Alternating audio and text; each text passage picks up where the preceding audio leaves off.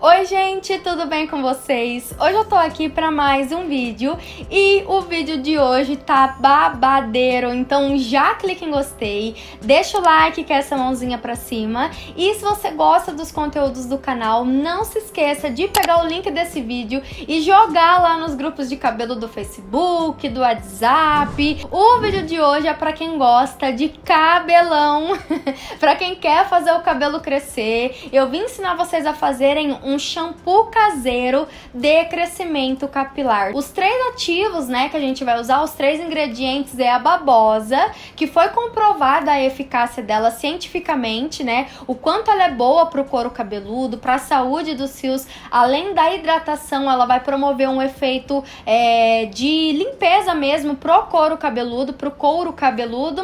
É, vamos precisar também do alecrim, que eu já ensinei, inclusive, já tem receita aqui no canal de tônico de alecrim e também algum óleo vegetal que tem como função estimular o crescimento dos fios. Tem dois que eu gosto muito, o óleo de patauá e o óleo de rícino. Na receita de hoje eu usei o óleo de patauá. E o shampoo, gente, ele tá aqui, ó, prontinho. É, as medidas que eu vou passar para vocês são para 100 ml de shampoo. Então, se você quiser dobrar, você tem que ficar atento às quantidades e aí você vai dobrando tudinho, tá? Então vamos lá pro tutorial, vem aprender a fazer esse shampoo facinho, baratinho para você ficar cabeluda.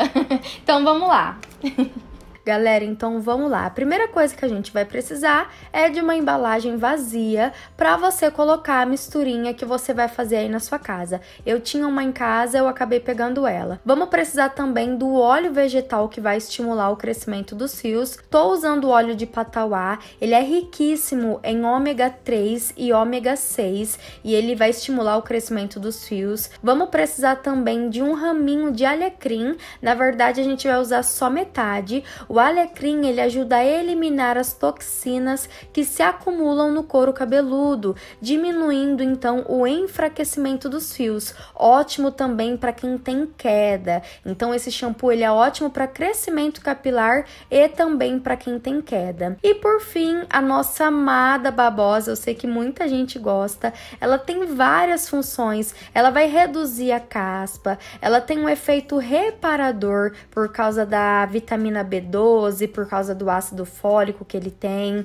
É, também é muito hidratante, combate a quebra, a queda e vai estimular o crescimento dos fios. É, o shampoo, eu indico vocês usarem um shampoo que seja transparente. Eu vou usar esse de manga da Scala, ele tem uma corzinha assim laranjada, mas não tem problema. Era o único, era o único transparente que eu tinha em casa. Você pode usar o que você tem aí. Eu vou fazer a misturinha em 100 ml de shampoo. Então as quantidades que eu vou mostrar para vocês é para 100 ml. Então para 100 ml de shampoo, eu coloquei meio raminho de alecrim. Então, ó, eu despedacei, fui colocando as folhinhas e eu coloquei meio raminho. Deixa eu mostrar para vocês, ó. Olha só. Então, se você for fazer em mais shampoo, pode aumentar a quantidade dos produtinhos, tá bom? Vou colocar uma colherzinha do óleo de patauá. Você pode usar outro óleo que você queira. E três dedinhos de babosa. Vou raspar com a colherzinha mesmo. Tem pessoas que gostam de bater a babosa no mixer ou no liquidificador. Você pode fazer da maneira que você preferir. Eu acho melhor eu ir amassando assim com a colher mesmo mesmo, porque dá na mesma, gente. Depois fica tudo tudo juntinho. Então, ó, eu vou amacetando assim com a colher e mesmo que ficar alguns pedacinhos de babosa, não tem problema, né? O importante é, assim, no geral, formar essa pastinha bem homogênea. O nosso shampoozinho tá pronto. Agora eu vou colocar ele dentro da embalagem e vocês têm que esperar é, as horas para poder usar ele, tá? Ele vai ficar um pouco mais aguadinho e muito mais fácil de lavar os fios. Lembrando que todos os tipos de cabelo pode lavar com esse shampoo e ele vai ser ótimo para queda e para estimular o crescimento dos fios. Gente, ó, depois da que você faz o shampoo, você não pode já usar ele na hora, tá? Tem que deixar um tempo de descanso pro alecrim, para tudo se incorporar ali, né? O alecrim ele liberar as propriedades dele. Então eu gosto de usar após 24 horas. E depois é, de um tempo que ele tá ali pronto, paradinho, ele fica um pouco mais homogêneo, ó. Ele fica um pouco mais líquido, porque na hora que a gente coloca a babosa, ele fica bem aquele gel mesmo, fica, como eu posso dizer, pegajoso.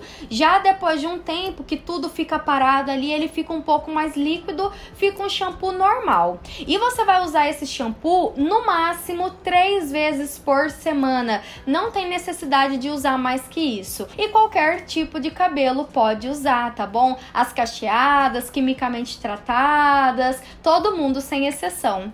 E é isso então, se você testar esse shampoo, depois volta aqui no, no vídeo, dê o seu feedback, é, tá bom? E vai ajudar também na hidratação, porque como vocês sabem, a babosa é muito hidratante.